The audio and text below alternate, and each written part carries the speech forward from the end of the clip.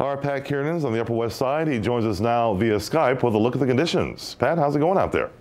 Uh, well, it, it's uh, it's pretty quiet. I think a lot of people took the advice and, and stayed home for the day. Lewis, back behind me there is the uh, the Upper West Side Icon Fairway, one of the busiest stretches of sidewalk at this time of night on a typical weekday. Not that there's nobody back there, but it, it is very quiet compared to what you usually see. I've seen buses go by empty. I got a seat on the subway, no problem coming home. And when I came home after my, my morning anchor shift this morning, went into my neighborhood pizza spot. Uh, this is well after lunch had started the, nor- the normal rush. And they said, hey, you're customer number three for the entire day.